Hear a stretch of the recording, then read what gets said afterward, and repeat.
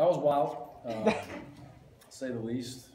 I'm really proud of those kids. They beat a very good football team in Cal. Um, a team that knows how to win. They obviously came back and we found a way to make one more play than they did at the end. But uh, we talked all week long about how we had to make it be a team effort, and, and I think it ended up being on offense, defense, special teams all contributed. But I'm, all the things I can say right now, I can't really say. I mean, it's just it's awesome for these kids. I'm proud of them. They deserve it. They worked their tails off to get here.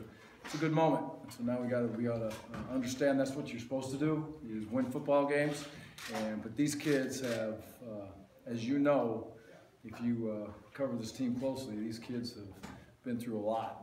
And they battled and they fought, and I say it every day. There's no give up in them. There's no quit in them. They keep battling. Um, uh, so it's uh, it's a great day to be a Beaver. Um, our fans deserve that. Uh, they, they deserve that victory. I appreciate everybody that was there. It's awesome to be able to celebrate that victory with those kids in that stadium and Reser with our fans there. So special, special moment for me, one I'll never forget.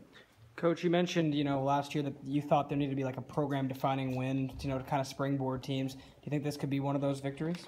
Uh, you know what? I, I, it's a win in the Pac-12. Obviously, it hasn't happened for a long time, uh, so it should give them some understanding of what it takes to win in the Pac-12. Um, but I don't know if it's a program-defining moment. I would necessarily wouldn't say that. I, I would expect those moments to be down the road, and I expect them to be in an even a bigger situation than just winning a Pac-12 football game. Our, it's never going to be our goal to win a Pac-12 football game. So it's a great win.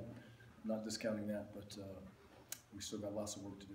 Does it help to win in that fashion where you squandered a pretty big lead and then all the momentum seemed to be count in overtime, defensive stuff, and to win it like that? I think it absolutely does, no question. You know, you know, there's a lot of teams in this league win a lot of games, and there's games that go back and forth, and it's going to go down to the wire a lot of those, a lot of times. And um, for us to be in that spot, it, it, it, you know, first day when we come back from fall camp, one of the first things I share with the kids is, you know, a winner gets into the moment and the situation and says, "Okay, here we go, we got this."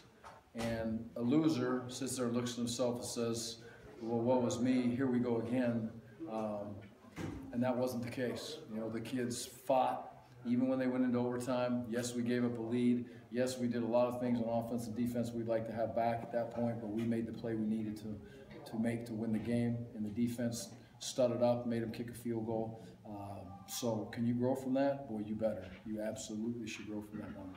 Here, Webb comes in with, you know, leading the nation in passing. He gets 113 yards tonight. How did you do it? And talk about your defense.